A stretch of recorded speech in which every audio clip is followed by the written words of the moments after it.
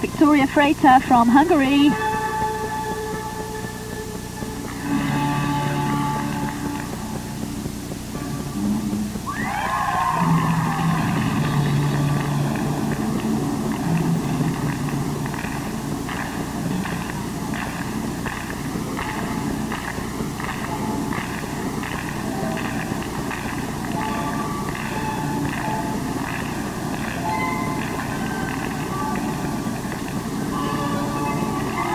Good catch.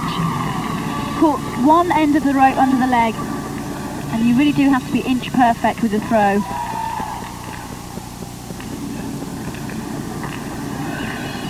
Rope can be an absolute nightmare to throw. Sometimes has a mind of its own in the air.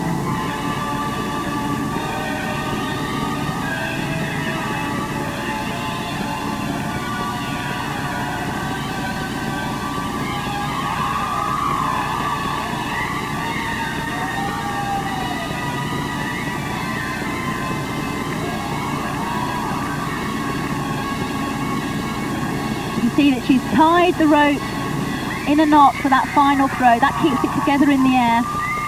Does make it a bit easier.